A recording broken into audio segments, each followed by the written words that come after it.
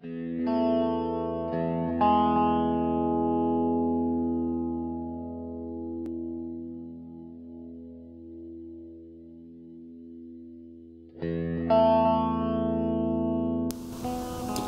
to this Pilot Partner training video on how to import flights using the new Pilot Partner import routine.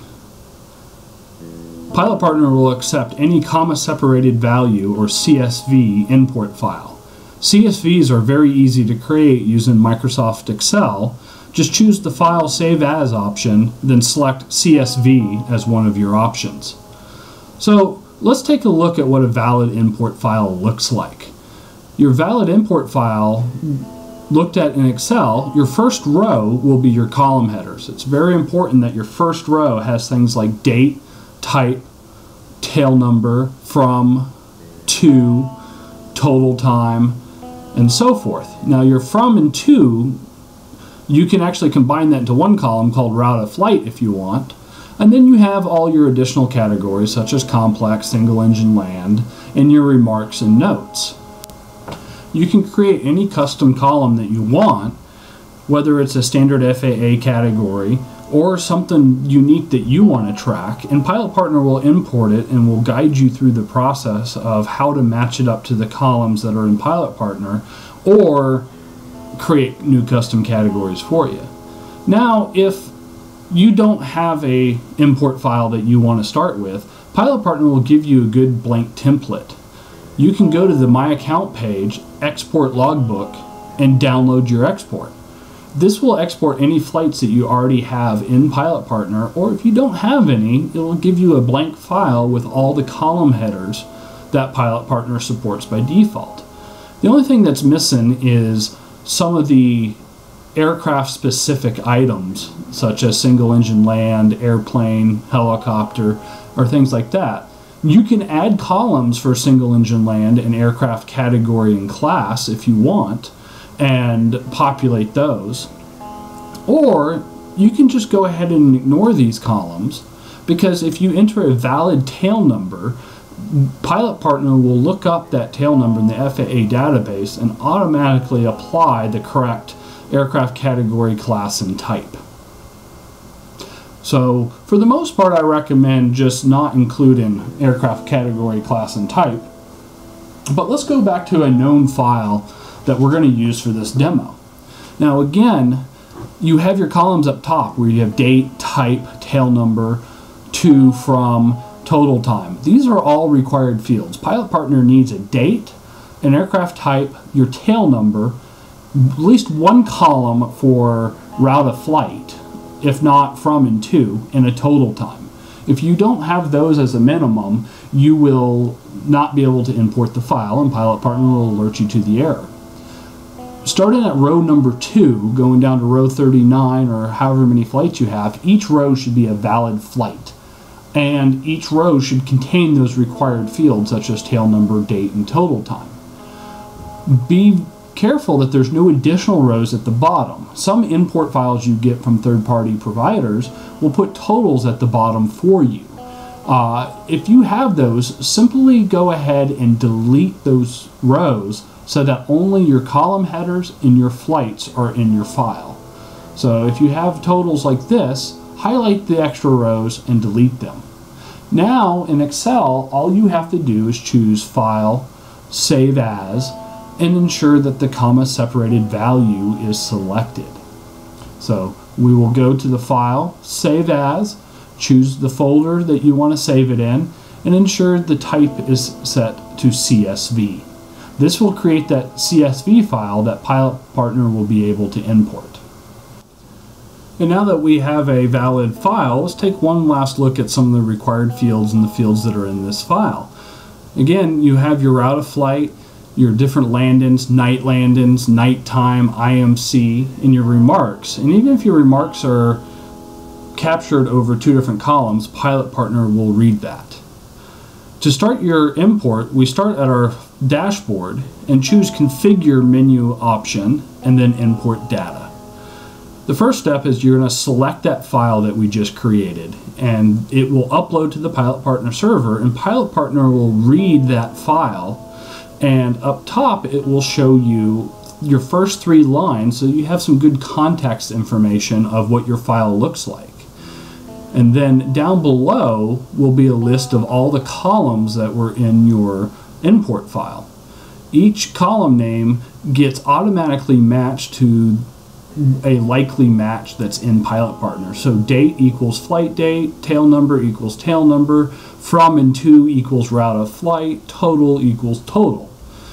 If Pilot Partner is unable to make a match, you will see a red X under the object column alerting you to the fact that it was the wrong, that it could not find a match. If it doesn't find a match, you will simply select from the drop down list and choose the best item available to to make that to make a match. So if tail number wasn't your tail number, you can select something different. If you have custom categories that Pilot Partner does not recognize, Pilot Partner will go through in any one of these items, whether it's a flight category, aircraft property, and will allow you to create a new item. So if you wanted a new item called Pilot in Command instead of PIC, Pilot Partner would allow you to do that during the import. But since we know PIC actually equals the built-in Pilot in Command category, we will just select that, telling Pilot Partner that that's the category that this column belongs to. Once you've ensured that all your columns are set correctly, click the Next button, and then Pilot Partner will take you to the aircraft screen, where it'll read each and every aircraft that is in your import file. And what Pilot Partner will try to do is look up each aircraft either in its local database or in the FAA database. So in this case, it found November 8165 Charlie automatically in the Pilot Partner database. So it knows that it's an airplane, single engine land, PA 28151. Then all you have to do is look over the properties associated with it to ensure the right ones are checked. Based upon your import columns, Pilot Partner will automatically try to check the correct ones. But if it's not checked, simply add it, and Pilot Partner will apply that item to each aircraft that you select. Now you'll notice that some are not found, like the Redbird FMX. When I fly the Redbird simulators, I log a tail number of Redbird FMX so I can separate those totals out. When this happens, you simply just make sure that the aircraft category, aircraft class, and aircraft type are correctly filled out, and then that the correct aircraft properties are checked off. So in this case, we want to ensure that the simulator checkbox is checked off. Once we make sure that all the items are correct with this, Pilot Partner will correctly import all flights tagged to Redbird FMX and give you credit for simulator time. Now, if we look down below, 8035 Golf again was found, but this is a 177RG, and based upon the data that was in my import file, it knew that it was a complex aircraft, so it automatically checked it. So make sure you review each and every aircraft, and then you select the next button, which will take you to the final summary screen before we actually do any imports. The summary screen will give you all the details of what will happen. 39 flights will be imported, 4 different aircraft, 19 different airports, and 68.2 hours of total time. It also will let you know if there's any columns that are excluded and the list of columns that are included.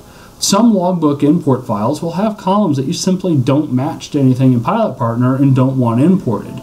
Those will be listed under the excluded columns. Then there are two import options that are important. You can delete your existing flights or zero your carry-in totals. Now, if you've imported flights already and maybe been playing around with Pilot Partner, and now that you're ready to do your import, you want to start fresh, deleting your existing flights is a valid option. Now, this is, does exactly what it says it will do. It will delete all of your flights in the system. So we're going to make you check twice that you really mean to do this. Now, your carry-in totals are similar, where you'll have to check twice in order to have it zero out your carry-in totals. But if you remember, when you sign up for Pilot Partner, you have the option to not import or type in all your old flights and simply give us a total of the flights you want to start with so you can start logging going forward. Well, you may want to eventually import all your old flights and zeroing your carry-in totals will automatically zero those out for you. So for this import, we will not delete or zero our totals and click next.